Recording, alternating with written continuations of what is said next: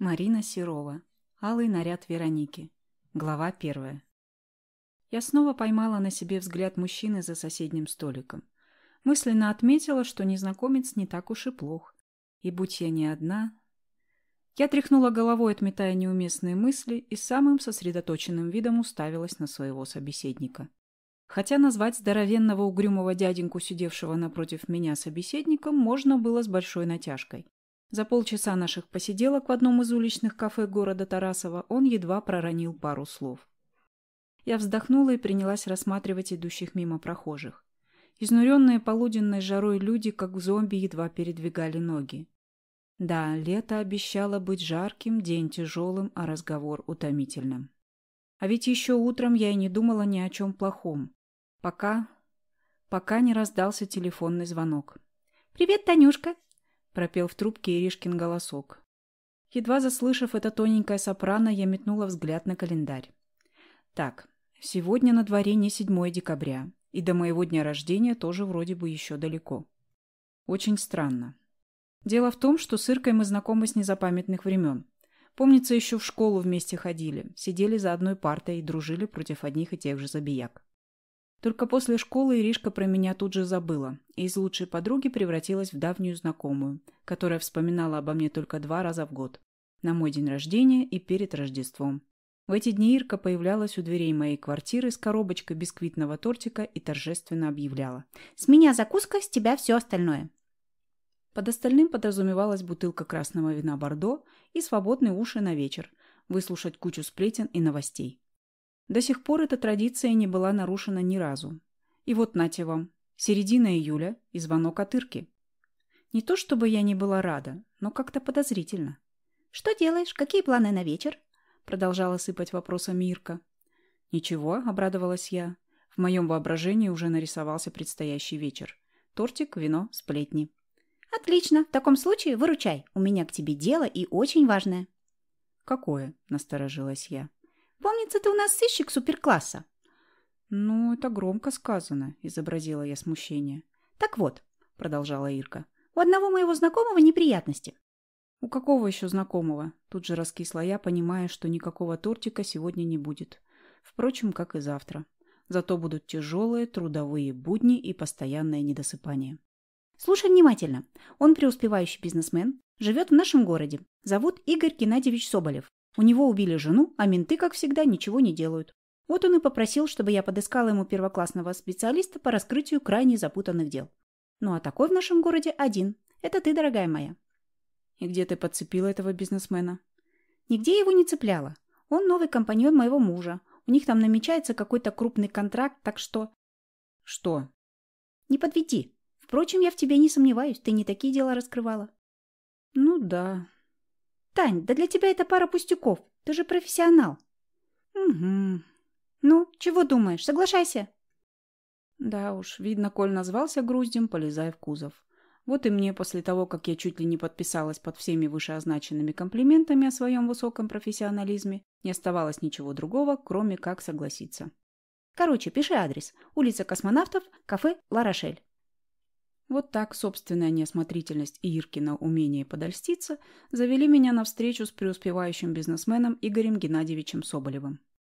Суровая практика в очередной раз подтвердила, что все бизнесмены – тучные, сидеющие дяденьки, которые носят дорогие костюмы известного бренда Hugo Boss и пользуются не менее дорогим парфюмом. Обычно такие мужчины всегда чем-то заняты, всегда куда-то спешат и мнят себя жутко важными птицами. И мой клиент не был исключением. Сначала он заставил себя ждать минут пятнадцать, затем долго и с сомнением выяснял мою личность, ему никак не верилось, что хрупкая молодая девушка может оказаться частным детективом.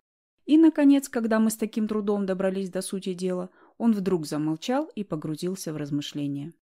Я не мешала Игорю Геннадьевичу и, попивая остывающий кофе, терпеливо ждала.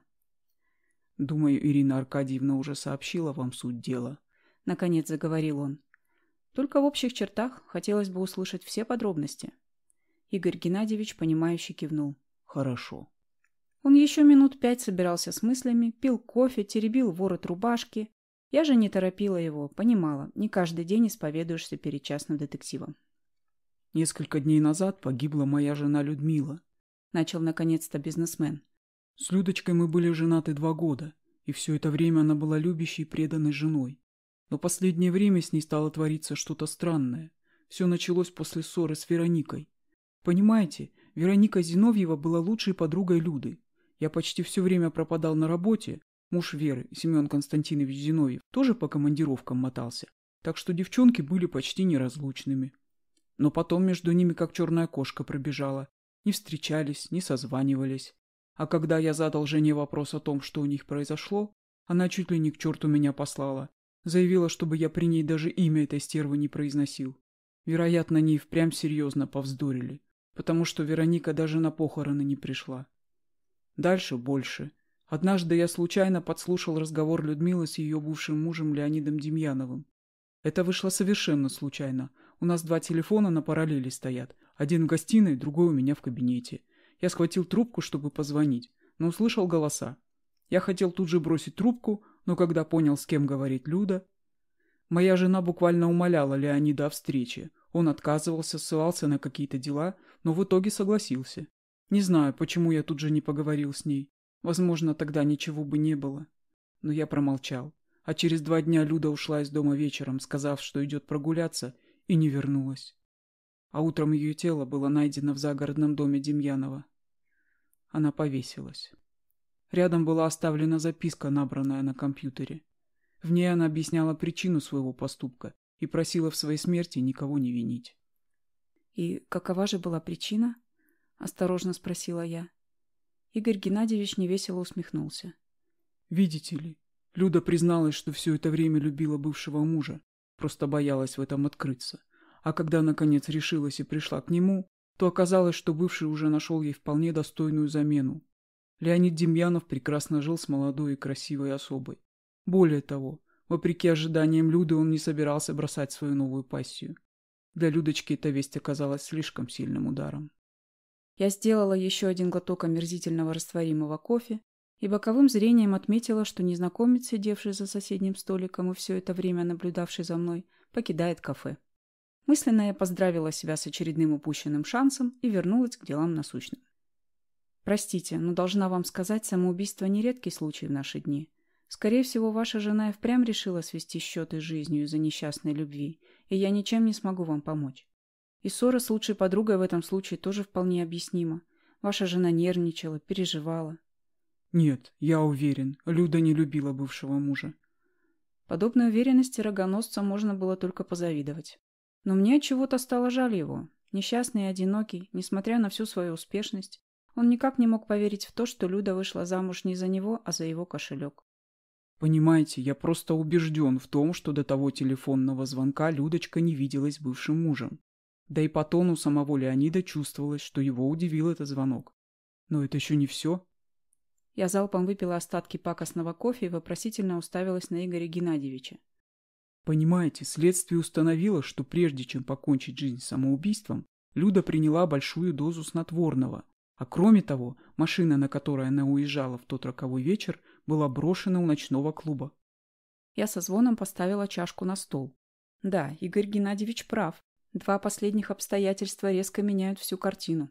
Хотя мало ли что могло взбрести в голову отчаявшейся женщине. Может, прежде чем умереть, она решила порадовать себя напоследок. Вот и заехала в ночной клуб. Ну а насчет снотворного, то здесь и впрямь что-то странное. Уж если она надумала покончить жизнь с петлей на шее, то зачем принимать лекарства? Так обычно поступают те, кто намеревается перерезать вены. Но, может, сначала она так и хотела поступить, а в последний момент решила сменить тактику самоубийства? Но если она оставила машину у ночного клуба, то как она попала за город? В том-то и дело. Следствию не удалось этого выяснить. И вообще, я так понял, ментов вполне устраивает версия о самоубийстве. Поэтому я и решил обратиться к частному детективу. И еще. Игорь Геннадьевич понизил голос. Мне кажется, Людочку убили. И сделал это ее бывший муж. Что и говорить. Мой клиент оказался типичным мужчиной с уязвленным самолюбием. Ему никак не хотелось верить в то, что его жена была тайно влюблена в другого человека. Зато он на ура принимает версию о ее убийстве. Однако я предпочла придержать язык за зубами. Ясно. Я постараюсь сделать все от меня зависящее. От вас мне потребуются координаты всех близких друзей Люды и, разумеется, адрес этого самого Леонида Демьянова. Ну, подруг у Люды не было, кроме Вероники, произнес Игорь Геннадьевич. А что касается остального, то вы найдете все в этой папке. Соболев протянул мне тоненькую темно-синюю папочку. Там же моя визитка, деньги на всевозможные расходы и аванс. Я мысленно поблагодарила за предусмотрительность свою подругу. И еще один момент. У какого именно клуба была найдена машина Люды? Рандеву, самый центр города. Хорошо, я свяжусь с вами, как только станет что-нибудь известно, пообещала я. Спасибо, кивнул Игорь Геннадьевич. Я очень на вас рассчитываю. Можете мне звонить, если возникнут какие-либо вопросы. Бизнесмен больше не стал задерживаться в тесном душном кафе, в которое неожиданно нахлынул народ. А я еще какое-то время посидела за столиком, перебирая содержимое папки, допила остатки кофе и тоже отправилась домой. Завтра меня ждет тяжелый день, думала я. И не ошиблась.